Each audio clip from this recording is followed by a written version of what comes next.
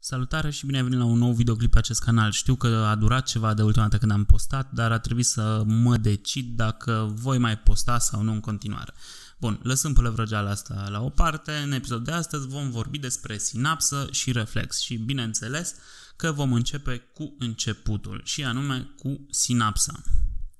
Bun, hai să înțelegem în mare pentru început ce este aceea o sinapsă. Sinapsa este un punct de legătură între două celule, mai exact într-o celulă 1 presinaptică care transmite informația și o celulă 2 postsinaptică care primește informația. Ei bine, locul uh, fizic prin care se transmite această informație este fanta sinaptică.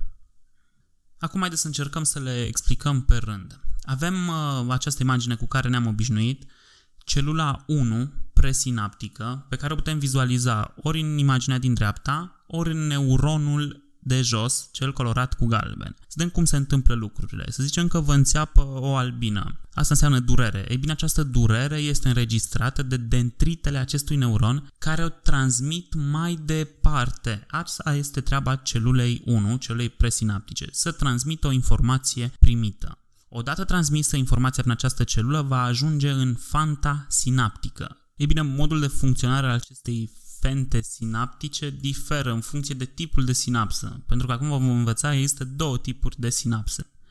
Să începem cu sinapsele chimice. Acestea sunt formate în mod clasic dintr-o celulă 1 presinaptică, o celulă 2 postsinaptică, iar fanta sinaptică acestor sinapse chimice conține mediator chimic, în cazul nostru acetilcolină. Al doilea tip de sinapse prezent în organismul uman sunt sinapsele electrice aceeași imagine cu care ne-am obișnuit, o celulă 1 presinaptică, o celulă 2 postsinaptică. Să vedem în continuare alcătuirea unei sinapse chimice. Pentru a facilita înțelegerea, în imaginea din stânga avem sinapsa desenată la nivel microscopic, dacă îmi permiteți, iar în partea dreaptă la nivel macroscopic. În partea dreaptă avem mai mult o analogie. Să vedem. Avem aceeași albină care ne înțeapă. Deci avem un stimul dureros. Stimulul dureros este înregistrat la nivelul dendritelor acestui neuron și sunt transmise mai departe unidirecțional spre butonii terminali. Să ne întoarcem la imaginea din stânga pentru a descrie aceeași acțiune.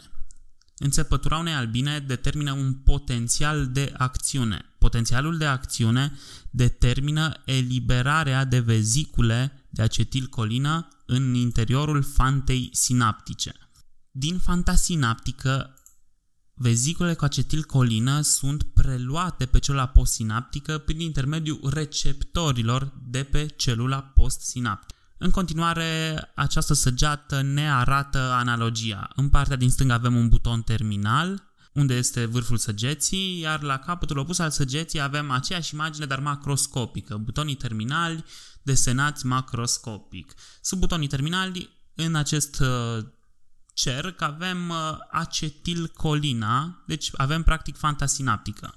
Iar fibra musculară de sub acetilcolină este celula postsinaptică, care, datorită mesajului primit de celula presinaptică, va realiza contracție, astfel ne vom mișca mâna și vom îndepărta albina care ne-a creat stimulul dureros. Sper că ați înțeles cum funcționează sinapsele chimice. În continuare vom merge la sinapsele electrice, care sunt mai simple și mai drăguțe, părerea mea. Din nou, în partea stângă avem o reprezentare mai mare, o reprezentare macroscopică, iar în partea stângă avem o reprezentare microscopică care ne permite să înțelegem mecanismele prin care se întâmplă asta. Avem niște conectori care realizează legături între celula presinaptică și celula postsinaptică. Avem o fantă sinaptică și un spațiu între aceste două celule care este extrem de mic în cazul celulelor, în cazul sinapselor electrice, mai exact de 2-4 nanometri. Aceste celule electrice se întâlnesc cu precădere în miocard, în mușchiul neted și în anumite regiuni din creier.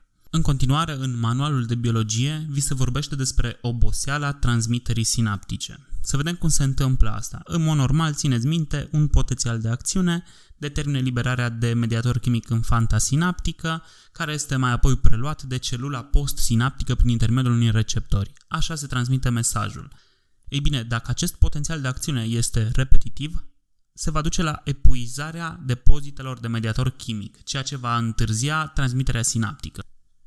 Bun, deci am terminat cu sinapsa și este timpul să trecem la reflex. Super simplu, vom explica o schemă și cu această schemă, dacă o înțelegeți, vă este suficientă pentru a înțelege ce scrie în carte. Bun, în continuare avem o sursă de căldură reprezentată de acea lumânare. Niște receptori dureroși la nivelul palmei care preiau senzația de durere. Această senzație este transmisă prin intermediul neuronului senzitiv, cel desenat cu roșu, spre măduva spinării. Măduva spinării modulează această senzație de durere transmisă de receptorii dureroși prin intermediul neuronului senzitiv și transmite o comandă prin intermediul unui neuron motor către mușchiul biceps. Mușchiul biceps se contractă, iar astfel noi ne vom lua mâna din calea stimulului dureros. Acesta este arcul reflex. Sumarizându-l, este foarte ușor de reținut. Priviți jos. Avem un receptor care sunt receptorii dureroși de la nivelul palmei. Mai departe, o cale aferentă. Calea aferentă înseamnă acea cale care transmite semnalul și în acest caz este vorba de neuronul senzitiv. Un centru nervos care modulează informația primită, adică măduva spinării, și o cale eferentă care este neuronul motor. Iar în cele din urmă avem un efector care este în acest caz mușchiul biceps care ne va ajuta să ne referim mâna din calea stimului dureros.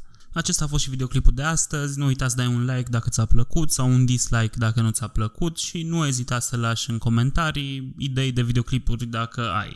Te salut, spor la învățat și o zi bună în continuare!